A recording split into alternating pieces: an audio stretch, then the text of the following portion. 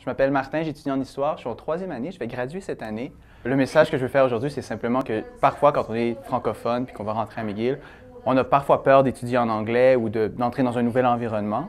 Moi, ma tâche à McGill, c'est d'être le commissaire francophone de l'association étudiante. Ma job, c'est d'encourager les initiatives francophones, troupes de théâtre, improvisation, soirées culturelles, soirées jeux de société. Il y a vraiment un monde en français à McGill qui est vibrant, qui est agréable.